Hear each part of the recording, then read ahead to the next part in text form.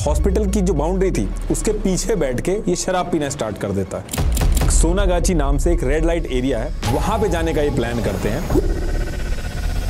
Police जब Bluetooth earpiece को इसके मोबाइल के पास ले गई तो वो उससे कनेक्ट हो जाता है। फीमेल डेड बॉडी आई हुई होती है तो ये उसको यूज़ करके फ़िल्म बनाते हैं। इसकी हिस्ट्री रही है फीमेल्स के साथ वायलेंस करने की, लड़ाई करने की, बिना एफआईआर दर्ज हुए ही पोस्टमार्टम तक कर दिया जाता है बॉडी का। पास के सोनागाजी से स्वर्कर्स को कॉलेज के अंदर लेके आते हैं। कुछ लोगों की फ़ोटो आई बाहर, जिनके लिंक टीएमसी से निकले। ये पूरे हॉस्पिटल में अपना शिकार ढूंढता है देखिए जो कोलकाता केस हुआ है, इसकी वजह से पूरे देश में बहुत ज़्यादा गुस्सा है। 24 घंटे के अंदर एक्यूज जो था, उसको भी पकड़ लिया गया। सीबीआई को भी केस ट्रांसफ़र कर दिया गया। लेकिन ऐसी क्या चीज़ें सामने आ गई जिसकी वजह से लोग अभी भी प्रोटेस्ट कर रहे हैं? और ऐसी क्या सिचुएशन वहाँ पे बनी हुई है कि अथॉरिटी ने साफ़ कह दिया कि हमने एक्यूज जो है, उसको पकड़ लिया है। तो फिर लोग इसको गैंग से क्यों जोड़ रहे हैं? तो देखिए जो पूरा केस है जितना सिंपल लग रहा है, उतना है नहीं। इस वीडियो के अंदर मैंने कोशिश की है कि जो एक्चुअल रूट कॉज है वो आपको समझ में आए, ताकि आप अपना ओपिनियन बना सकें। अभी आगे वीडियो के अंदर मैं डिटेल्स जो बताऊँगा, वो मैंने हाई कोर्ट और सुप्रीम कोर्ट के जो ऑर्डर्स हैं न्यूज़ रिपोर्ट्स हैं, और इसके साथ साथ पोस्टमार्टम की जो ओरिजिनल कॉपी है, वो सब आपको डिस्क्रिप्शन में मिल जाएगा। कुछ भी मैं अपने मन से नहीं देखिए, वेस्ट बंगाल के अंदर कोलकाता में ये यहाँ पे लोकेटेड है RG Kar medical college and hospital. अब ये जो कॉलेज है, इस कॉलेज के अंदर साल 2016 का टाइम था और इस टाइम पे कॉलेज के अंदर एक कुक काम करता था, जिसका नाम था संजय रॉय। ये जो पूरा इंसिडेंट हुआ है इसकी पूरी जड़ वो इसी आदमी के ऊपर है। और उस टाइम पे इसकी फैमिली में इसकी मदर और सिस्टर थी और वाइफ थी, जिसका इससे डिवोर्स हो चुका था। और अर्निंग के लिए as a cook RG Kar college में काम करता था। अब एक दिन संजय रॉय जो था, वो काम करते करते बिना किसी को बताए इस कॉलेज से गायब हो जाता और एक कुक गायब हो गया था, ज़्यादा कुछ फ़र्क पड़ा नहीं था तो किसी ने इस पर ध्यान भी नहीं दिया। अब अगले तीन साल तक जो संजय रॉय था, उसका कुछ पता नहीं चलता है कि वो कहाँ पे था। फिर तीन साल बाद, यानी कि ईयर 2019 में संजय रॉय वेस्ट बंगाल की सिविक वॉलेंटियर फोर्स को ज्वाइन कर लेता है। एक्चुअली वेस्ट बंगाल पुलिस में वर्क फोर्स कम होने की वजह से साल 2012 में वेस्ट बंगाल गवर्नमेंट जो थी, वो सिविक वॉलेंटियर फोर्स का कॉन्सेप्ट लेके आई थी, जिसमें टेम्परेरी बेसिस पे पुलिस के सपोर्ट के लिए सिविक वॉलेंटियर रखे जाने लगे, जो पुलिस के अलग अलग कामों में हेल्प करते थे और जितना ये काम करते थे, उसकी ज़रूरत के हिसाब से इनको पैसा दे दिया जाता था, बारह हज़ार रुपए दिए जाते थे। शुरू में संजय रॉय जो था, उसने सिविक वॉलेंटियर फोर्स के डिजास्टर मैनेजमेंट ग्रुप को ज्वाइन किया था, लेकिन कुछ जुगाड़ लगा के, नेताओं की चापलूसी वगैरह करके, इसने अपने आप को डिजास्टर मैनेजमेंट से शिफ्ट करके सिविक वॉलेंटियर फोर्स के वेलफेयर सेल में शिफ्ट करा लिया था। क्योंकि वेलफेयर सेल जो था उसमें हॉस्पिटल वगैरह आते थे तो जुगाड़ से हॉस्पिटल के अंदर फ्री में बेड दिलवा के एडमिशन करा के, ऊपरी कमाई बहुत होती थी तो हर करप्ट सिविक वॉलेंटियर जो था, वो इसी सेल में जाना चाहता था। तो अपने आप को इस डिपार्टमेंट में शिफ्ट करा के डेली बेसिस पे ये गवर्नमेंट हॉस्पिटल में जाने लगा और ऊपरी कमाई करने लगा। तो शिफ्ट होने के बाद ये जो आर्जिकल मेडिकल कॉलेज था, इसके अंदर इसका आना जाना बहुत रेगुलर हो गया, कोई इसको रोकता टोकता नहीं था। ये जाके वहाँ पे पेशेंट्स को फ्री में जुगाड़ लगा के बेड्स वगैरह दिलवाता था और पैसे बनाता था। वेलफेयर सेल में शिफ्ट होने के बाद संजय रॉय जो था वो कोलकाता पुलिस की फोर्थ बटालियन में आ गया था, क्योंकि वेलफेयर सेल इसके अंडर ही आती है। तो करीब एक साल के अंदर ही आर्जिकल मेडिकल कॉलेज के अंदर इसकी पकड़ बहुत अच्छी हो गई थी। आना जाना तो पहले से था ही था इसका, क्योंकि पहले इसने बॉक्सिंग वगैरह भी करी थी तो इसकी वजह से इसको आर्जिकर हॉस्पिटल के इमरजेंसी गेट और ट्रॉमा वार्ड के आसपास सिक्योरिटी संभालने का काम दिया गया। लेकिन इसका जो मेन फोकस था, वो ब्रोकर की तरह बस बेड वगैरह दिला के पैसा कमाने में था, अपने कनेक्शन बनाने में था। और इसके साथ साथ जो नए लड़के आते थे, उनसे पैसे लेके उनको सिविक वॉलेंटियर भी बनवाता था। अब देखिए, जैसे कांग्रेस की स्टूडेंट विंग है, एनएसयूआई, ऐसे बीजेपी की एबीवीपी है, ऐसे ही तृणमूल कांग्रेस की स्टूडेंट विंग है, तृणमूल छात्र परिषद, जिसका काफ़ी अच्छा इन्फ्लुएंस है आरजीकर मेडिकल कॉलेज की स्टूडेंट यूनियन में। और आरजीकर मेडिकल कॉलेज के जो स्टूडेंट इलेक्शंस होते हैं हर साल, उसमें भी इनका बहुत अच्छा इन्फ्लुएंस होता है। तो ये जो संजय था, ये स्टूडेंट विंग के प्रोमिनेंट लीडर जो थे, उनकी भी बहुत चापलूसी करता था और उनसे इसने काफ़ी अच्छे लिंक बना लिए थे। एक पुलिस वेलफेयर बोर्ड होता है, जिसमें चौदह मेंबर्स की सेंट्रल कमेटी होती है, जिसमें पुलिस की फैमिली वगैरह जो होती है, उनके वेलफेयर के लिए काम होता है। तो इसके लिंक इतने स्ट्रांग हो गए थे कि इस वेलफेयर के अंदर इसको भी रखा गया था। इनफैक्ट ये भी कहा गया कि इसके चक्कर में, यानी कि इसके डिसअप्रूवल की वजह से कई पुलिस का ट्रांसफ़र भी हुआ। इसकी वजह से इसकी कंप्लेन भी हुई थी थी कि थाला पुलिस स्टेशन और श्याम बाज़ार पुलिस स्टेशन जो है, वहाँ के छह पुलिस वालों का ट्रांसफ़र में भी इसका बहुत बड़ा रोल रहा था। और उस टाइम पे जो इशू हुआ था ट्रांसफ़र वाला, जिसमें संजय रॉय का नाम आया था, इसको टाइम्स ऑफ़ इंडिया ने भी रिपोर्ट किया था, लेकिन उसके बाद भी कुछ नहीं हुआ। अब इसके साथ साथ सेम ईयर यानी कि 2020 में, संजय रॉय को हॉस्पिटल के अंदर रहने के लिए बैरक भी मिला, जो generally police constable OC rank के होते हैं, उनके लिए होता है। तो ये बैरक इसको भी मिलता। है उस टाइम पे जो बैरक था, ये एएसआई अनूप दत्ता का था, जिसको संजय रॉय यूज़ करने लगा था। इसको एएसआई दत्ता के भी बहुत करीब माना जाता है। अभी रिसेंटली भी आपने फुटेज वगैरह देखी होंगी न्यूज़ मीडिया में। एएसआई दत्ता जो थे, वो भाग रहे थे और मीडिया उनका पीछा कर रही थी। तो इनकी भी इंक्वायरी हो रही है इस समय। अभी आएँगे उस पर भी। तो संजय रॉय को डेली पाँच लीटर पेट्रोल मिलता था इसकी बाइक के लिए। काम के हिसाब से बारह हज़ार रुपए भी मिलते थे। हॉस्पिटल में फ्री बेड वगैरह दिलवा के इसकी कमाई तो ऊपर से हो ही रही थी। तो इसकी हर तरफ़ से इसके मज़े थे। अब इसके एक साल बाद, यानी कि ईयर 2021 में आर्जिकल हॉस्पिटल में एक बड़ा चेंज होता है। आर्जिकल कॉलेज के अंदर एक नए प्रिंसिपल बनाए जाते हैं डॉक्टर संदीप घोष। ये इससे पहले नेशनल मेडिकल कॉलेज के वाइस प्रेसिडेंट भी थे तो वहाँ पे काफ़ी एलिगेशन वगैरह लगे इनके ऊपर। तो इनका ट्रांसफ़र करके आर्जिकल मेडिकल कॉलेज में लाया गया प्रिंसिपल बना के। और जब ये प्रिंसिपल बने थे तो आर्जिकल कॉलेज के अंदर ही 16 साल से डेप्यूटी सुपरिटेंडेंट अख्तर अली जो थे उनका ये कहना था और ये चीज़ उन्होंने ऑन रिकॉर्ड भी बोली थी कि उन्होंने ऑब्ज़र्व किया कि ये सिविक वॉलंटियर संजय रॉय जो है ये प्रिंसिपल के बहुत क्लोज हो गया था उस टाइम पे। जो प्रिंसिपल के चार खास लोग थे जैसे अफसर खान जैसे सोनू तो उसमें ये संजय राय भी एक था। और यही वो टाइम था इस टाइम पे संजय रॉय जो था, उसने अपने आसपास के लोगों पे इन्फ्लुएंस बनाने के लिए अपनी बाइक के ऊपर कोलकाता पुलिस लिखवा दिया था, जबकि वो सिविक वॉलंटियर था। और जो वो टी शर्ट भी पहनता था, उसके ऊपर भी इसने कोलकाता पुलिस लिखवा लिया था। उसके आसपास के जो लोग थे, वो इसको पुलिस समझते थे। उनको डिफरेंस नहीं पता था सिविक वॉलंटियर और पुलिस फोर्स में। और इस टाइम पे इसका काफ़ी अच्छा रुतबा था। हॉस्पिटल के कैंपस के अंदर भी इसकी बहुत चलती थी। बिना किसी गार्ड के रोक टोक के आराम से जिस वार्ड में जाना चाहता था, जिस फ्लोर में जाना चाहता था, जिस रूम में जाना चाहता था, बड़े आराम से जाता था। और 2022 का जब टाइम आता तो ये दोबारा से भी शादी करता है और बिना किसी दिक्कत के इसकी आराम से शादी हो जाती है। लेकिन शादी के कुछ ही दिन बाद ये डोमेस्टिक वायलेंस शुरू कर देता है। जैसे अपनी पहली पत्नी को मारता था, ठीक उसी तरीके से इसके साथ भी इसने मारापीटी शुरू कर दी थी। लेकिन हद तो तब पार हो गई थी जब इसकी वाइफ थ्री मंथ प्रेग्नेंट थी और इसने उसके बाद भी इसको लात मार दी थी। इसकी तबीयत बहुत ज़्यादा खराब हो गई थी, इलाज भी नहीं कराता था, मारता अलग से था। और फिर इसको लेके पुलिस स्टेशन में इसकी कंप्लेन भी होती है। लड़की की माँ आती है और वो कंप्लेन करती है। और इसके बाद भी जब कुछ नहीं होता है तो लड़की की माँ थक हार के अपनी बेटी को वापस ले जाती है। लेकिन कुछ ही टाइम बाद इसकी जो दूसरी वाइफ थी उसकी भी डेथ हो जाती है। उसमें बीमार गिरा मारा धारा बीमार गिरा तीन महीना का पेट में बच्चा था वो भी खराब किया। फिर पुलिस को रिपोर्ट लिखाया पुलिस रिपोर्ट लिया कालीघाट थाना में। अब इसके बाद ईयर आता है 2023 इस टाइम पे संजय रॉय आराम से अपनी ज़िंदगी काट रहा था लेकिन इस टाइम पे प्रिंसिपल जो थे आर्जिकल कॉलेज के उनका टाइम सही नहीं चल रहा था। और जून 2023 में बात काफ़ी ज़्यादा आगे बढ़ गई थी। और लोगों ने स्टूडेंट्स ने जो स्टाफ थे उन्होंने एलिगेशन लगाना चालू कर दिए थे कि ये जो प्रिंसिपल है ये करप्ट है फाइनेंशियल फ्रॉड करे इसने।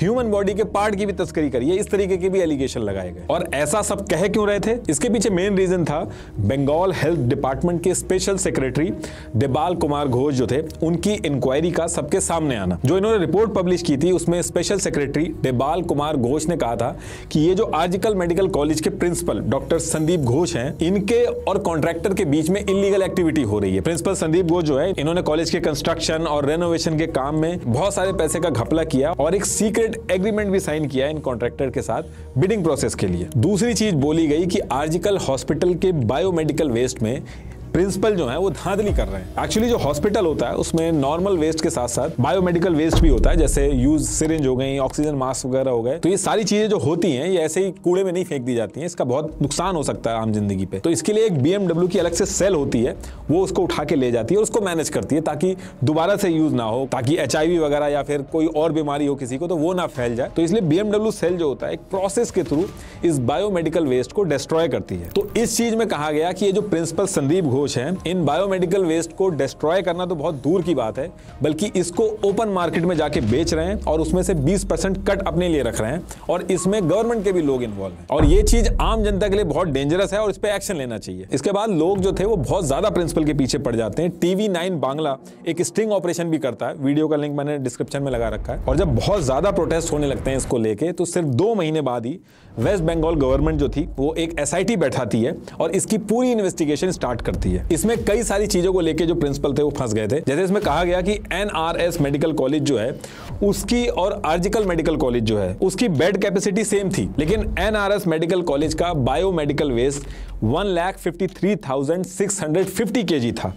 और वहीं आर्जिकल मेडिकल कॉलेज की बात करें तो उसका बायोमेडिकल वेस्ट जो था वो सिर्फ़ 49,044 केजी था जो कि बहुत बड़ा डिफरेंस था। ऐसे ही हर कॉलेज की जैसे डिजिटल स्किल लैब बनाई जाती है तो आर्जिकल हॉस्पिटल की भी डिजिटल स्किल लैब जो थी जब बनाई गई तो उसमें two crore ninety seven lakh thirty six thousand rupees लगे। और same digital skill lab Diamond Harbour medical college में sixty one lakh forty seven thousand two hundred ninety four rupees में बनाई गई। कॉलेज के पुराने government employee deputy superintendent Akhtar Ali ने कहा कि ये क्या मज़ाक चल रहा। इस टाइम पे कंप्लेन भी की इन्होंने। इन्होंने रिपोर्ट भी सबमिट की एसआईटी ने भी अपनी रिपोर्ट बनाई। ये उस रिपोर्ट की ओरिजिनल कॉपी है, आप पॉज करके पढ़ लेना।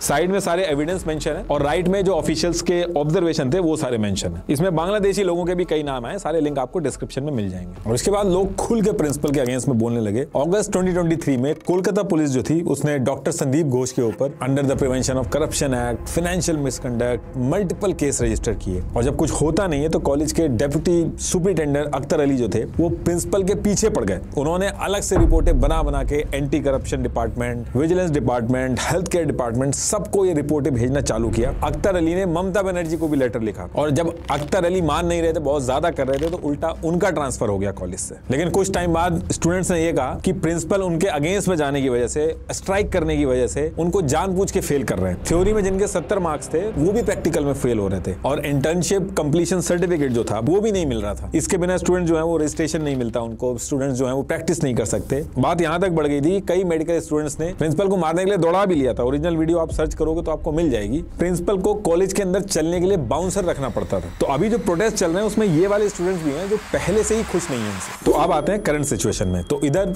ये सारी चीज़ें चल रही थी। ऐसा करते करते ईयर आ चुका था 2024 तो ऐसे ही मार्च 2024 में, यानी कि इसी साल एक औरत थी जिसका बेटा बहुत बीमार था तो संजय रॉय जो था, उसकी गलत नज़र पड़ जाती है इसके ऊपर। वो इस औरत की मदद करता है, बेटे का इलाज करवाता है, दवाइयों तक के जो पैसे होते हैं, वो संजय रॉय जो था, वो खुद देता है, और औरत बहुत ज़्यादा खुश हो जाती है इससे। लेकिन उसके बाद संजय रॉय क्या करता है, वो मेडिकल प्रिस्क्रिप्शन में से नंबर निकाल लेता है उस औरत का, और उसको बैक टू बैक गंदे मैसेज और कॉल वगैरह करने लगता है। ये जो मैं बता रहा हूँ, ये न्यूज़ एटीन बंगला ने उस टाइम पे कवर भी किया तो ये उस टाइम पे उस औरत को बहुत ज़्यादा हैरास करने लगता है, और ज़बरदस्ती उसको मिलने के लिए बुलाता है कि तुझे आना पड़ेगा और उसको डराता धमकाता भी है। तो औरत जो थी, जब उसके पास कोई चारा नहीं बचता और बहुत ज़्यादा परेशान हो जाती है तो उसको लाल बाज़ार पुलिस स्टेशन में जाके कंप्लेन करनी पड़ती। है लाल बाज़ार में ही कोलकाता पुलिस का हेडक्वार्टर है तो ये कंप्लेन आने के बाद पुलिस जो है, वो संजय रॉय को बुलाती है। पुलिस ने इसका कॉल डेटा रिकॉर्ड सीडीआर निकलवाया और इसका मोबाइल वगैरह चेक किया तो उसमें ये पकड़ा जाता है कि ये सच में परेशान कर रहा था। जितनी भी कॉल वगैरह थी, सारी की सारी पुलिस ने ट्रेस कर ली थी। अब कायदे में तो इसके ऊपर आईपीसी के तहत हरासमेंट के चार्जेस लगने थे क्रिमिनल ब्रीच ऑफ़ ट्रस्ट वगैरह, ये दुनिया भर के चार्जेस लग सकते थे। इनफैक्ट इसकी जो सिविक वॉलंटियर की जो पोजीशन थी, उससे भी इसको हटा देना चाहिए था। लेकिन पता नहीं क्या रीजन था कि इसके साथ कुछ होता ही नहीं है इस पूरे केस में। और शायद इन्हीं सब रीजन की वजह से इसकी इतनी हिम्मत बढ़ती जा रही थी। अगर उसी टाइम पे इसके ऊपर एक्शन हुआ होता तो आज जो इंसिडेंट हुआ है, वो होता नहीं। रूल्स के हिसाब से सिविक वॉलंटियर की जो पोस्ट है, उसमें आप किसी को भी हायर करोगे तो उसका क्रिमिनल बैकग्राउंड नहीं होना चाहिए। कोई भी केस नहीं होना चाहिए उसके ऊपर। लेकिन संजय रॉय जो था, उसके ऊपर तो ऑलरेडी उसकी वाइफ ने डोमेस्टिक वायलेंस का केस कर रखा था। ऊपर से ये वाला केस भी हो गया था। उसके बाद भी इसको रखा गया। अब ये जो कंप्लेन वगैरह की थी इस औरत ने, इसका तो कुछ नहीं हुआ, लेकिन एक चीज़ ये हुई थी कि इस औरत को इसने दोबारा परेशान करना बंद कर दिया था। और ठीक इस इंसिडेंट के एक वीक बाद, संजय रॉय के ऊपर एक और कंप्लेन होती है, जिसमें इसने एक फीमेल डॉक्टर के साथ मिसबिहेव किया था, इससे बदतमीजी की थी। तो कहने का मतलब यह है कि इसकी हिस्ट्री रही है फीमेल्स के साथ वायलेंस करने की, लड़ाई करने की, उनके साथ आर्गूमेंट करने की, किसी लड़के के साथ इसका कभी कोई झगड़ा नहीं हुआ। तो अभी जो आजकल मेडिकल कॉलेज है, इसके अंदर जो अभी करंट इंसिडेंट हुआ उसकी जो विक्टिम थी, वो भी यहाँ से अपनी एमबीबीएस पूरी करने के बाद इसी कॉलेज से एमडी कर रही थी सेकेंड ईयर में थी वो। एक्चुअली एमबीबीएस करने के बाद डॉक्टर तीन साल के लिए पोस्ट ग्रेजुएशन प्रोग्राम एमडी या फिर एमएस ऑप्ट करते हैं। इनको रेसिडेंट डॉक्टर बोला जाता है। इंडिया के अंदर रेसिडेंट डॉक्टर जो होते हैं, उनकी हालत बहुत खराब रहती है उसे बहुत ज़्यादा काम कराया जाता है। एक तरह से हॉस्पिटल जो है वही इनका रेसिडेंट बन जाता है। इसीलिए इनको रेसिडेंट डॉक्टर बोला जाता है। तो ऐसे आजगर कॉलेज में ऐसे तीन चार सौ से ज़्यादा रेसिडेंट डॉक्टर थे। और विक्टिम जो थी, जो यहाँ से अपनी एमडी कर रही थी पूरी, वो अपने माँ बाप की अकेली लड़की थी। पेरेंट जो थे इनके, इन्होंने अपनी बेटी को बहुत ही मेहनत से कमा के पढ़ाया था। फादर इनके टेलर थे तो फाइनेंशियल कंडीशन भी इनकी कोई अच्छी नहीं थी। पूरी फैमिली जो थी, इस कॉलेज से एमडी पूरे होने का इंतज़ार कर रही थी, क्योंकि सेकंड ईयर में थी तो बहुत कम टाइम बचा था, ताकि जल्दी से डॉक्टर बन सके। तो अब यहाँ से होता क्या है कि अगस्त मंथ का फ़र्स्ट वीक स्टार्ट हो चुका था, और फिफ्थ ऑफ़ अगस्त से एट्थ ऑफ़ अगस्त इसी साल की मैं बात कर रहा हूँ 2024 की। ये जो संजय रॉय था, ये as a civic assistant Kharagpur के सालुआ जाना पड़ता है सिविक वॉलेंटियर के किसी काम की वजह से। अभी वहाँ पे जाता है, और 8 अगस्त को वापस आता है, और यही वो दिन था, जिस दिन संजय रॉय इस हॉस्पिटल की हिस्ट्री का सबसे बड़ा क्राइम करने वाला था। तो इस दिन, यानी कि एट्थ ऑफ़ अगस्त 2024 को, दिन में ही संजय रॉय जो था, वो हॉस्पिटल में आता है। एक पेशेंट का एडमिशन कराना था इसको। ये पेशेंट जो था, वो इसके ही जैसे एक सिविक वॉलंटियर था, उसके रिलेशन में आते थे। और जब ये हॉस्पिटल में आया था इस पेशेंट के काम से, उसी टाइम जो विक्टिम थी, उनको इसने फॉलो भी किया था सीसीटीवी फुटेज से पता चला। तो पेशेंट का एडमिशन कराने के बाद थोड़ी देर हॉस्पिटल में घूमता है, और उसके बाद हॉस्पिटल से बाहर निकल जाता है। इसके बाद फिर से एक एक्सरे से रिलेटेड इसको कोई काम आता है, इसी पेशेंट से रिलेटेड तो दोबारा ये रात में ग्यारह बजे हॉस्पिटल में आता है, वो काम कराता है, और पेशेंट की जो सर्जरी थी वो करीब एक बजे प्लान थी तो ये वहीं पर रुकता है। अब इधर सर्जरी स्टार्ट होती है और ये उसी पेशेंट के रिलेटिव जो कि इसका दोस्त था और सिविक वॉलेंटियर भी था, उसके साथ हॉस्पिटल की जो बाउंड्री थी, उसके पीछे बैठ के ये शराब पीना स्टार्ट कर देता है। अब जब शराब पीते पीते इनको थोड़ा टाइम हो जाता है तो ये वहीं से थोड़ी दूर पे एक सोनागाची नाम से एक रेड लाइट एरिया है, वहाँ पे जाने का ये प्लान करते हैं। और फिर ये वहाँ पहुँचने के बाद इसका जो दोस्त था, वो अंदर चला जाता है। संजय जो था, वो वहीं बाहर रोड पे वेट करता है और जो बाहर औरतें जा रही थी, उनको छेड़ता। है इसके बाद इसका दोस्त वापस आता है। ये दोनों वहीं से थोड़ी दूर पे चेटला एक दूसरा रेड लाइट एरिया है। वहाँ पे दोनों साथ में मिलके जाते हैं। दोबारा से इसका दोस्त अंदर जाता है और संजय जो था, वहीं बाहर रोड पे ही एक लड़की थी, उसको पैसे देके उसके प्राइवेट फ़ोटो मोबाइल में मंगा लेता। है अब इसके थोड़ी देर बाद इसका दोस्त वापस आता है। ये दोनों उसी एरिया में घूमते हैं और उसके बाद इसका जो दोस्त होता है, वो ऊबर बाइक को बुक करता है और वहाँ से दोस्त निकल जाता है। अब यहाँ से संजय जो था, वो नशे की हालत में धुत था और अकेला था। यहाँ से वो वायलेंट अडल्ट कंटेंट देखता अपने मोबाइल में। दोबारा से अल्कोहल जाके पीता है और फिर ये कुछ देर बाद हॉस्पिटल की तरफ़ जाना स्टार्ट कर देता है। इस टाइम करीब दो से ढाई बज रहे थे और ये हॉस्पिटल की तरफ़ बढ़ने लगता है। वहीं दूसरी तरफ़ जो विक्टिम थी, वो भी हॉस्पिटल में आई थी। उनकी 36 आवर की शिफ्ट चल रही थी, जिसमें कॉन्टिन्यूसली लिमिटेड ब्रेक्स के साथ 36 आवर्स तक काम करना होता है और इस टाइम पे आप घर नहीं जा सकते, उसी हॉस्पिटल में रहना होता है। तो सोना, खाना, पीना, सब कुछ हॉस्पिटल में ही करना होता है। तो लास्ट 36 आवर से हॉस्पिटल में ही थी। रात में करीब 11 बजे के करीब ये जो विक्टिम थी, इनकी अपने पेरेंट्स से फ़ोन पे बात होती है। उसके बाद इनको भूख लगती है। तो जो विक्टिम थी, वो अपने फ़र्स्ट ईयर के दो जूनियर थे इनके, औरको और सौमित्रा। उनके साथ मिलकर बाहर से फ़ूड ऑर्डर करती हैं और उसके बाद ये लोग प्लान करते हैं कि नीरज चोपड़ा का ओलंपिक में उस समय लाइव जैवलिन थ्रो होना था तो उसको देखने का प्लान करते हैं और टीवी जो था वो थर्ड फ्लोर पे सेमिनार हॉल में था। तो ये तीनों लोग थर्ड फ्लोर पे सेमिनार हॉल में पहुँचते हैं और ये तीनों ही चेस्ट मेडिसिन डिपार्टमेंट के ही थे। अब इसके बाद ये जो टीवी पे लाइव मैच देख रहे थे, वो खत्म हो जाता है। औरको और सौमित्रा जो थे, वो सेमिनार हॉल से चले जाते हैं और विक्टिम वहीं अपनी स्टडी करती हैं। इसी सेमिनार हॉल में रात के दो बज रहे थे और एक स्टाफ मेंबर था, वो विक्टिम के पास जाता है और पेशेंट के ट्रीटमेंट के बारे में कुछ चीज़ें डिस्कस करता है और फिर चला जाता है। तब तक सारी चीज़ें ठीक थी। इसके बाद दो बज के पैंतीस मिनट पे जो विक्टिम थी, उनकी कज़न का एक मैसेज आया था और दो बज के पैंतीस मिनट पे विक्टिम जो थी, उन्होंने रिप्लाई किया था उस मैसेज का। इसके बाद तीन बजे एक स्टाफ जिसका नाम गोलन था, वो सेमिनार हॉल के बगल से गुजरता है और इस टाइम तक जो विक्टिम थी, वो एक रेड ब्लैंकेट लेके गद्दा पड़ा था फ्लोर पे सेमिनार हॉल के अंदर और उसी के ऊपर सो रही थी। उस टाइम पे जो स्लीप रूम था, वहाँ पे पोलिसोमनोग्राफी स्लीप डिसऑर्डर का एक टेस्ट चल रहा था। इसकी वजह से कहीं और जगह नहीं थी सोने की तो वो वहीं सो गई थी। ये हमेशा अपने साथ एक डायरी रखती थी और सोने से पहले लिखती थी उसमें। तो उस दिन भी इनके पास एक डायरी थी और उस दिन भी इन्होंने लिखा था। इस डायरी में अपने फ्यूचर के प्लान्स वगैरह लिखती थी। जैसे आर्जिकल कॉलेज से इन्हें गोल्ड मेडल अचीव करना है। कुछ बड़े हॉस्पिटल्स के नाम लिखे थे और उसमें लिखा था कि यहाँ पे आगे चल के इन्होंने काम करना है। तो यहाँ पे अब ये सो रही थी सेमिनार हॉल के अंदर और अब टाइम हो चुका था तीन बज के पचास मिनट। और इस टाइम तक संजय रॉय जो था, वो हॉस्पिटल में पहुँच चुका था। सीसीटीवी में जब चेक किया गया था तो इसी पर्टिकुलर टाइम पे ये हॉस्पिटल के मेन गेट से एंट्री करते हुए दिखता है। अब इसके बाद ये पूरे हॉस्पिटल में अपना शिकार ढूंढता है। ऐसा नहीं कि ये गया था, वहाँ पे धोखे से मिल गई। ये एक्चुअल में वहाँ पे अलग अलग ऑपरेशन थिएटर थे टेस्ट डिपार्टमेंट थे। ये वहाँ जाके देखता है कि कहीं कोई फीमेल पेशेंट हो, बेहोश हो। तो एक्चुअल में किसी को ढूंढ रहा था कि कोई क्राइम करने के लिए मिल जाए, क्योंकि सीसीटीवी में देखा गया है कि अलग अलग रूम में जा जाके ये देख रहा था। और फिर चार बज के तीन मिनट पे थर्ड फ्लोर पे पहुँचता है और सेमिनार हॉल में घुस जाता है। ये इसकी ओरिजिनल पिक है सीसीटीवी से निकली हुई। जब ये सेमिनार हॉल में घुस रहा था तो इसके गले के अंदर एक ब्लूटूथ ईयरपीस था और इसी ब्लूटूथ डिवाइस की वजह से आगे चल के पकड़ा जाएगा, अभी आएगा आगे। सेमिनार हॉल में पहुँचने के बाद ये वहाँ विक्टिम को देखता है और फिर अटैक कर देता है। गला दबाता है, काफ़ी ज़्यादा मारता है विक्टिम बहुत ज़्यादा स्ट्रगल करती है। चार बज के तीन मिनट पे सेमिनार हॉल में घुसा था और पोस्टमार्टम में चार बज के पंद्रह मिनट के बाद का टाइम मेंशन था डेथ का। तो इसका मतलब है कि काफ़ी देर तक स्ट्रगल हुआ था और सेमिनार हॉल जो था, वहाँ पे स्पीचेस वगैरह दी जाती थी और साउंड प्रूफिंग थी वहाँ पे तो इसकी वजह से जो भी हल्ला हो रहा था, वो बाहर आवाज़ नहीं जा पा रही थी। बाकी जो डिटेल्स हैं वो आपको ऑलरेडी पता है तो उसकी डिटेल में मैं नहीं जाऊँगा। लेकिन इसने अपनी सारी लिमिट तोड़ दी थी। और ये क्राइम करने के बाद, करीब चार बज के चालीस मिनट पे सेमिनार हॉल से बाहर निकलता है। तो करीब 37 मिनट तक सेमिनार हॉल में रहता है ये। और यहाँ से निकलने के बाद जो वहीं हॉस्पिटल कैंपस के अंदर जो बैरक थी, जो इसको मिली हुई थी, बड़े आराम से जाके वहीं पे सो जाता है। कहीं पे भागता नहीं है कोई इसके दिमाग में टेंशन नहीं थी। अब इसके बाद सुबह होती है और औरोको जो था, वो इस सेमिनार हॉल में जाता है और जैसे ही वो जाता है, वहाँ से बहुत ज़्यादा चीखता है और वहाँ से निकलने के बाद वो सबको पूरी सिचुएशन बताता है। बॉडी पे आधे कपड़े पड़े हुए थे, मुँह पे चोट थी, चश्मा टूटा हुआ था, आँखों से खून आ रहा था। पूरी बॉडी पे चोट थी। और ये सब पता चलने के बाद एक घंटे, यानी छह से सात, साढ़े सात बजे के बीच में बहुत ही ज़्यादा भीड़ इकट्ठी हो जाती है सेमिनार हॉल में। लोग जूते वगैरह पहन के काफ़ी ज़्यादा घुस जाते हैं तो जो क्राइम सीन था, उसकी भी धज्जियाँ उड़ चुकी थी। जगह जगह पे फिंगरप्रिंट्स भी आ गए थे। और इसी टाइम पे हायर अथॉरिटी जो थी, वो प्रिंसिपल संदीप घोष को फ़ोन भी कर देती है। वहीं हॉस्पिटल से पास में ही रहते थे वो। लेकिन फ़ोन करने के करीब एक घंटे बाद वो हॉस्पिटल पहुँचते हैं। और राइट अवे पुलिस को कंप्लेन करने की बजाय, पहले वो खुद सेमिनार हॉल में जाके देखते हैं। और इस चीज़ को लेकर बहुत ज़्यादा क्रिटिसाइज किया इनको कि पहले इनको पुलिस को जाके इंसिडेंट बताना था, ना कि खुद जाके पहले चेक करना था। अब इसके बाद करीब एक घंटा बीत चुका था और जो प्रिंसिपल थे, वो अपने ऑफ़िस में पहुँचते हैं और वहाँ से पुलिस को फ़ोन करके इन्फॉर्म करते हैं और सेम टाइम पे कॉलेज के असिस्टेंट सुपरिटेंडेंट, करीब दस बज के पचास मिनट के करीब, विक्टम के घर पे फ़ोन मिलाते हैं। विक्टम की मदर फ़ोन उठाती हैं और उनसे कहते हैं कि आपकी बेटी की तबीयत खराब है, आप कॉलेज आ जाइए और इसके अलावा और कुछ नहीं कहते और फ़ोन काट देते हैं। अब ये सारी चीज़ें सुन के विक्टम के घर वाले दोबारा कॉल करते हैं कि क्या हुआ, दोबारा से फ़ोन मिलाते हैं। तो पेरेंट्स के अकॉर्डिंग असिस्टेंट सुपरिटेंडेंट ने कहा कि आपकी लड़की ने कर लिया है। और ये सारी चीज़ें सुनते ही घर वालों के होश उड़ जाते हैं और वो कॉलेज की तरफ़ दौड़ना स्टार्ट करते हैं। और वहीं दूसरी तरफ़ कॉलेज के अंदर करीब ग्यारह बज के तीस मिनट पे एडिशनल कमिश्नर ऑफ़ पुलिस और फोरेंसिक टीम जो थी, वो क्राइम सीन पे पहुँच गई थी। लोग बहुत ज़्यादा प्रेशर बनाते हैं कि सारी की सारी चीज़ें जो है, वो जुडिशियल मजिस्ट्रेट जो है, उनके सामने ही होगी। क्योंकि उनको जो इससे पहले जो चीज़ें हुई थी, उसको लेके डाउट था। इसलिए वो कहते हैं कि जुडिशियल मजिस्ट्रेट जो है, उनके सामने ही सारी चीज़ें होंगी। अब सेम टाइम पे करीब 12 बजे पेरेंट्स जो थे, वो भी कॉलेज पहुँच जाते हैं और पेरेंट्स जो थे, वो पहुँचते ही कहते हैं कि उनको अपनी बेटी से मिलना है।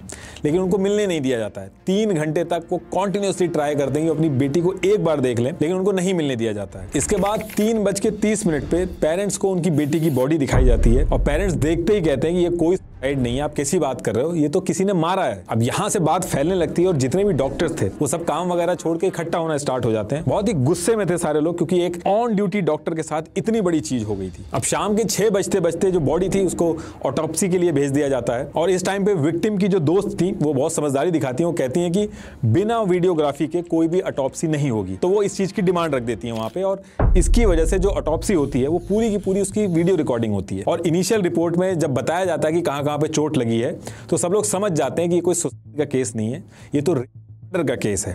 ये उस ऑटोप्सी की ओरिजिनल कॉपी है, आप पॉज करके पढ़ लेना। इतना टाइम हो चुका था, लेकिन किसी ने भी एफआईआर दर्ज नहीं की थी, और बिना एफआईआर दर्ज हुए ही पोस्टमार्टम तक कर दिया जाता है बॉडी का। ये पोस्टमार्टम की कॉपी है। ये रिपोर्ट आते ही लोग कहना स्टार्ट कर देते हैं कि ये कोई एक आदमी ने नहीं किया है, ये तो है क्योंकि ये बात फैलने लगी थी कि 150 mg सीमेन मिला है और ऑन एन एवरेज एक इंडियन मेल बॉडी 5 mg तक ही प्रोड्यूस करती है। तो ये चीज़ पॉसिबल नहीं है, इसलिए लोग कहने लगे कि ये है। हालाँकि आगे चल के ये चीज़ थी, ये गलत निकलती है, इसमें और भी बहुत सारे सब्सटेंस थे। इस पूरे सिचुएशन को जिस तरीके से हैंडल किया जा रहा था, वो डॉक्टर्स देख रहे थे और उनको शक हो रहा था कि इसमें कोई गहरी साजिश है। ये सारी की सारी चीज़ों को छुपाया जा रहा है और जिस तरीके से किया जा रहा है वो सही नहीं है। सारी चीज़ें हो चुकी थी पोस्टमार्टम वगैरह तक हो गया था, लेकिन किसी ने भी एफआईआर नहीं कराई थी। फिर विक्टिम के जो फादर थे, उन्होंने जाके एफआईआर लिखवाई। स्टूडेंट्स ने बताया कि पुलिस भी बहुत ज़्यादा जल्दी कर रही थी। उन्होंने तुरंत जाके शमशान घाट में जाके क्रिमेशन कर दिया। तीन बॉडी ऑलरेडी लगी हुई थी लाइन में। पुलिस ने उनको हटा के ये जो विक्टिम की बॉडी थी, इनका क्रिमेशन स्टार्ट कर दिया। और इसको लेके लोग बहुत ज़्यादा गुस्सा हो रहे थे कि इतनी क्या जल्दी पड़ी हुई है इन लोगों को। अब यहाँ से जो है, वो पॉलिटिक्स स्टार्ट होती है। लोग बहुत ज़्यादा गुस्से में थे और गवर्नमेंट को समझ में आ गया था कि अब ये जो सारी चीज़ें उनके कंट्रोल से बाहर हो जाएँगी, अगर सही तरीके से इसको हैंडल नहीं करेंगे। तो पुलिस डिपार्टमेंट को तुरंत बता दिया जाता है कि कैसे भी करके, जो एक्यूज है, उसको कैसे भी करके पकड़ के लेके आओ। अब यहाँ से पुलिस पूरी जान लगा के इन्वेस्टिगेशन स्टार्ट करती है। पुलिस जब क्राइम सीन पे पहुँची थी तो उसको वहाँ से एक ब्लूटूथ ईयरपीस मिला था और इसको लेके पुलिस जो है, वो सारे कॉलेज के जो कैमरा थे, उनको देखना स्टार्ट करती है। सेमिनार हॉल जो था, उसके अंदर कैमरा नहीं था, लेकिन सेमिनार हॉल की जो लॉबी थी, उसकी एंट्री और एग्जिट दोनों जगह पे कैमरा था। और पुलिस जो थी, वो तीन बजे के बाद से कौन कौन सेमिनार हॉल के अंदर आया कौन कौन बाहर गया, सबको देखना स्टार्ट करती है। और उसी टाइम पे पुलिस जो है, वो संजय रॉय को सेमिनार हॉल में जाते हुए देखती है। और इस पे पुलिस को ज़्यादा डाउट इसलिए होता है क्योंकि ये अकेला ऐसा था, जो डॉक्टर नहीं था और सेमिनार हॉल में गया था और वो भी इतनी रात में। और इसके साथ साथ तीन बजे के बाद विक्टिम और संजय रॉय जो था, ये सबसे ज़्यादा देर तक सेमिनार हॉल में थे। और Sanjay Roy thirty minute seminar के अंदर बिताने के बाद जब एग्जिट कर रहा था तो इसके गले के अंदर जो एंट्री करते समय ब्लूटूथ ईयरपीस था, वो निकलते समय था ही नहीं। तो इसकी वजह से इसके ऊपर डाउट होता है और पुलिस जो है वो इसके बैरक में पहुँचती है। इसने जो कपड़े थे, उनको धो के चेंज कर दिया था। बाकी आराम से वहाँ पे सो रहा था। और पुलिस जब ब्लूटूथ ईयरपीस को इसके मोबाइल के पास ले गई तो वो उससे कनेक्ट हो जाता है। तो यहाँ से इसको उठा के इससे पूछताछ शुरू होती है और ये सारी चीज़ें बिना किसी डर के बताना चालू कर देता है। इसका जब मोबाइल चेक किया गया तो उसके अंदर से वॉयलेंट फोटोग्राफिक कंटेंट मिलता है। पूरी सर्च हिस्ट्री इसकी इन्हीं सब चीज़ों से भरी हुई थी। अब इधर ये सारी चीज़ें चल रही थी और कॉलेज के अंदर प्रिंसिपल ने ये कह दिया था कि विक्टिम जो है वो अकेली ही क्यों गई सेमिनार हॉल में? तो इसको लेके लोग और गुस्सा हो जाते हैं और 11 अगस्त तक छोटे छोटे स्केल पे इन सारी चीज़ों को लेके डॉक्टर जो थे वो प्रोटेस्ट करना स्टार्ट कर देते हैं।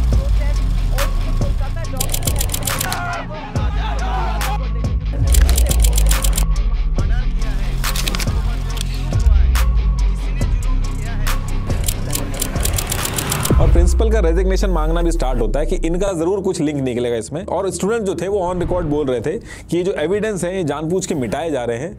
आरजीकर कॉलेज के अंदर सारी चीज़ें सही से नहीं हो रही हैं। ज़रूर इसमें कुछ दिक्कत है। और इसमें सबसे ज़्यादा हैरानी की बात यह थी कि एक तरफ़ इतना बड़ा केस हो गया था, उसी टाइम पे सेम फ्लोर पे सेमिनार हॉल जो था, उससे 20 मीटर दूर पे कंस्ट्रक्शन का काम स्टार्ट करवा दिया मैनेजमेंट ने। और इसके अगले ही दिन इतना ज़्यादा प्रेशर गवर्नमेंट और प्रिंसिपल के ऊपर हो जाता है कि प्रिंसिपल रिजाइन कर देता है। लेकिन उसका रिजाइन एक्सेप्ट करने की बजाय उसको national medical college and hospital जो कि कोलकाता में ही है, वहाँ पे उसका ट्रांसफ़र कर दिया जाता है। इसको प्रमोशन की तरह देखा जाता है कि एक तरफ़ इतना कुछ हो गया है उसको सेम पोजीशन पे दूसरे और अच्छे कॉलेज में डाल दिया जा रहा है। लिंक में मैंने हाई कोर्ट के ऑर्डर की कॉपी लगाई है। आप ज़रूर एक बार देखिएगा। हाई कोर्ट ने कहा कि प्रिंसिपल ने रेजिग्नेशन मारा था। दो ऑप्शन थे। या तो आप रिजेक्ट कर देते या एक्सेप्ट कर देते।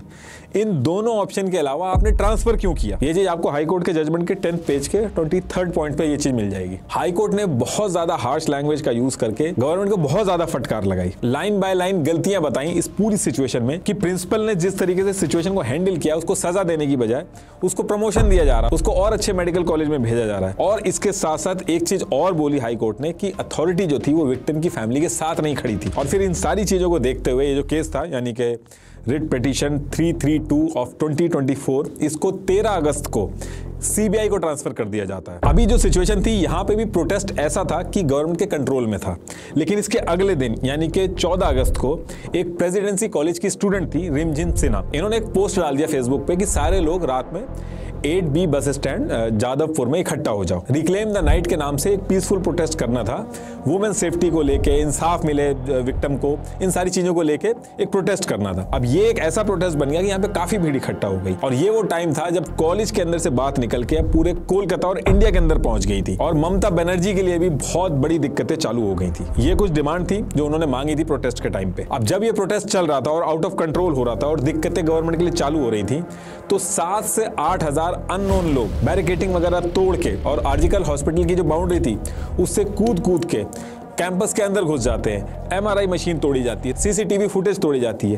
प्रोटेस्ट जो लोग कर रहे थे, उनको भागना पड़ता है। हॉस्टल के अंदर जो लड़कियाँ थी, वो भी और ज़्यादा परेशान हो जाती है कि अब ये सब क्या चीज़ें चल रही और इसके साथ साथ ये जो अननोन लोग थे, ये थर्ड फ्लोर पे भी घुसने का ट्राई करते हैं, जहाँ ये क्राइम हुआ था। पुलिस भी कुछ नहीं कर पाती, पुलिस कुछ करने की बजाय टॉयलेट में छुप जाती है। ये देखिए, इस तरीके से ये हाल कर दिया था इन लोगों ने। अब बात यहाँ पे ये थी कि जो स्टूडेंट प्रोटेस्ट कर रहे हैं इससे दिक्कत किसको होगी? कौन इनको भेजेगा इस प्रोटेस्ट को खराब करने के लिए? तो इसकी वजह से चीज़ें और खराब हुई और सीधे जो जवाब दे थी, वो गवर्नमेंट की बन रही थी। अब ये जो भीड़ आई थी, इस भीड़ में से कुछ लोगों को पहचाना गया।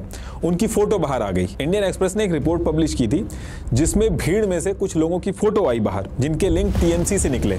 पहली फ़ोटो सौमिक दास। ये Sukanta Sen Sharma local TMC leader है, उनके लिए काम करता था। लेकिन टीएमसी ने इस पर क्लैरिफिकेशन दिया कि सपोर्टर तो ऐसे कोई भी हो सकता है, इसमें हमारा कोई लिंक नहीं है। दूसरी फ़ोटो में ऋषिकांत मिश्रा दिखा। ये भी टीएमसी का वर्कर है और साथ में बिल्डिंग मटेरियल सप्लायर है। ऐसे ही सुबोदीप कुंडू, इसके आगे जो खड़ा है सौम्यदीप, ये दोनों भी टीएमसी से निकले। ऐसे ही तुलसी हल्दर, ये भी टीएमसी से है। तो ऐसे करके और भी लोगों के नाम आए जिनका लिंक टीएमसी से निकला। तो यहाँ से भीड़ और गुस्सा हो गई कि सौ दो लोग नहीं थे ये। कई हज़ार लोग थे। वेल कोऑर्डिनेटेड तरीके से एक ही जगह पे, एक ही टाइम पे step by step seminar hall की तरफ़ कैसे पहुँच गए थे लोग। अब देखिए जो पूरे प्रोटेस्ट चल रहे थे, ये पूरी सिचुएशन जो चल रही थी, इसमें अब आपका एक क्वेश्चन ये होगा कि 24 घंटे के अंदर जिसने क्राइम किया, उसको पकड़ लिया। जो केस है, वो भी सीबीआई को ट्रांसफ़र कर दिया गया। तो ये प्रोटेस्ट हो क्यों रहे हैं? तो देखिए, ये जो हॉस्पिटल है, इसकी जो पुरानी हिस्ट्री है, उसकी वजह से जो लोग हैं, जो स्टूडेंट्स हैं, जो डॉक्टर्स हैं वो इस इंसिडेंट में पूरी तरीके से यकीन नहीं करना चाह रहे हैं। इस हॉस्पिटल की हिस्ट्री की वजह से लोग कह रहे हैं कि केस इतना सिंपल नहीं है, इसमें और गहरी साजिश है, इसलिए इसमें फेयर इंक्वायरी होनी चाहिए, जो कि नहीं हो रही है। एक्चुअली हुआ क्या था कि ईयर 2001 में बैरकपुर में एक सौमित्रा विश्वास नाम का एक लड़का रहता था। उसने अगस्त के मंथ में अपने पेरेंट्स को बताया था कि आरजीकर हॉस्पिटल जो है, यहाँ पे सारी चीज़ें सही नहीं चल रही हैं। यहाँ पे कुछ गलत काम होते हैं। और फिर इसके कुछ दिन बाद, यानी कि ट्वेंटी ऑफ़ ऑगस्ट 2021 को आरजीकर कॉलेज में सौमित्रा विश्वास से लटके हुए मिलते हैं। और अभी जो केस चल रहा है, इसी तरीके से कोलकाता पुलिस आई थी, कुछ इन्वेस्टिगेशन की थी, और उन्होंने अपनी रिपोर्ट में कह दिया था कि ये केस है। और जैसे ही वो ये कहते हैं कि केस है माँ बाप साफ़ मना कर देते कि लड़का खुश था, कोई दिक्कत नहीं थी, ये कोई केस नहीं है, बल्कि किया गया सौमित्रा के जो माँ बाप थे, वो गवर्नमेंट को मल्टीपल लेटर लिखते हैं कि आरजीकर कॉलेज जो है वहाँ पे कुछ गड़बड़ चल रही है, उनका बेटा ऐसा नहीं कर सकता। कुछ करिए इसको लेके और जब कुछ नहीं होता है तो माँ बाप कोर्ट में चले जाते हैं और कोर्ट जो है, वो सारी चीज़ें देखता है। उसके बाद सीबीआई तो नहीं, लेकिन सीआईडी की जाँच शुरू करवा दी जाती है। दो तीन साल तक इन्वेस्टिगेशन चलती है और इस इन्वेस्टिगेशन में कई स्टूडेंट्स और सौमित्रा के जो फ्रेंड थे, उन्होंने अपने बयान में बोला कि आरजीकर कॉलेज की यूनियन के कुछ पावरफुल लोग यहाँ पे पोर्नोग्राफी का काम करते हैं। इस चीज़ के बारे में पता सबको है, लेकिन कोई कुछ कर नहीं पाता है, क्योंकि ये पावरफुल लोग हैं। आगे इसमें ये चीज़ कही गई कि ये लोग पास के सोनागाजी से वर्कर्स को कॉलेज के अंदर लेके आते हैं। उनसे पोर्नोग्राफिक कंटेंट बनाते हैं और जो फ़ेमस हीरोइन होती हैं, उनकी इमेज से इनको रिप्लेस कर देते हैं। और कई बार जब कोई अवेलेबल नहीं होता है तो आर्जिकल हॉस्पिटल के अंदर कोई फ्रेश फीमेल डेड बॉडी आई हुई होती है तो ये उसको यूज़ करके फ़िल्म बनाते हैं और उसको बेचते हैं। और उस टाइम भी इसी आर्जिकल हॉस्पिटल के अंदर सेमिनार हॉल और रूम नंबर फिफ्टीन का नाम आया था। और ये भी इसमें कहा गया था कि कभी कभी कॉलेज की जो लड़कियाँ होती थी, उनका फेस भी यूज़ कर लिया जाता था, उनकी फ़िल्म बनाई जाती थी, क्योंकि वो ज़्यादा जल्दी बिकती थी। तो इस केस में भी ये बताया गया कि एक बार सौमित्रा विश्वास जो थे, उनकी गर्लफ्रेंड के बर्थडे की एक पिक थी, उसको इन लोगों ने निकाल के वीडियो बना ली थी और सर्कुलेट कराना स्टार्ट कर दिया था। सौमित्रा इस चीज़ को लेकर लड़ने चले गए और फिर सेम वीक में रूम नंबर 15 में ये से लटके हुए मिले। और जब इन सारी चीज़ों को लेके इन्वेस्टिगेशन चल रही थी तो एक रूम ऐसा भी मिला था जहाँ पे ट्राईपॉड और लाइट रिफ्लेक्टर जो होता है, वो भी सीआईडी को मिला था। आज की डेट में तो ये फिर भी नॉर्मल है, लेकिन 2001 में ये मिलना नॉर्मल नहीं था। तो इसको लेके भी बहुत कुछ हुआ था, लेकिन इस केस में भी कोई पकड़ा नहीं गया और ये भी केस रहा। इसीलिए आज की डेट में भी आर्जिकल कॉलेज के जो स्टूडेंट्स हैं, वो इसकी डिटेल इंक्वायरी करवाना चाहते हैं, क्योंकि इस केस को भी साइड से जोड़ दिया गया। और आर्जिकल कॉलेज की हिस्ट्री रही है केसों को साइड में जोड़ने की। 2003 में अर्जित दत्ता, हर कोई शॉक्ड हो गया था कि इनकी जान कैसे चली गई। बाद में पता चला इन्होंने सुसाइड कर लिया। ऐसे ही 2016 में आर्जिकल हॉस्पिटल की डिपार्टमेंट हेड गौतम पाल की बॉडी मिली। उनका भी बताया गया कि उन्होंने सुसाइड कर लिया। 2020 में भी पौलमी शाह के केस में बताया गया कि उन्होंने सुसाइड कर लिया। एक इंटर्न भी थी, उसका भी ये बताया गया कि ओवरडोज हो गई थी। इसीलिए सारे लोग इस पे एक डिटेल इंक्वायरी चाहते हैं कि एक्चुअल में चल क्या रहा है इस कॉलेज में, वो पता चले। ये कोई एक कोइंसिडेंस है या फिर कोई एक गहरी साजिश? अभी आज की डेट की बात करूँ तो सीबीआई ने अपनी प्रोग्रेस रिपोर्ट जो है, वो सबमिट कर दी है सुप्रीम कोर्ट में। सुप्रीम कोर्ट ने कड़ी फटकार लगाई है। इसमें यह कहा गया है कि क्राइम सीन से छेड़छाड़ हुई है। तो एक्चुअल में हुआ क्या है, ये तो टाइम आने पर सामने आएगा।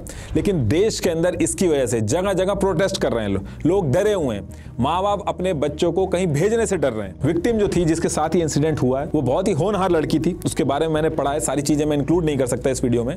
वो बहुत ही होनहार लड़की थी और अपने माँ बाप का बहुत ज़्यादा ध्यान रखती थी। बीबीसी को विक्टिम के जो पेरेंट्स हैं, उन्होंने इंटरव्यू दिया आप पढ़ोगे तो आप सोच भी नहीं सकते कितना गलत उस फैमिली के साथ हुआ है। विक्टिम के साथ इस एक्यूज संजय राय ने बहुत ज़्यादा दरिंदगी करी है। मैंने जानबूझ के इस वीडियो में उसको ऐड नहीं किया क्योंकि ना मैं बता पाऊँगा और ना आप सुन पाओगे। और हर बार आप देखोगे ऐसा ही। होता है, फिर कुछ टाइम बाद लोग भूल जाते हैं और फिर दोबारा से वही सारी चीज़ें होती हैं। तो इसके लिए गवर्नमेंट को ज़रूर कुछ ना कुछ करना चाहिए। कुछ ना कुछ ऐसा करना चाहिए कि ये चीज़ें दोबारा ना हों।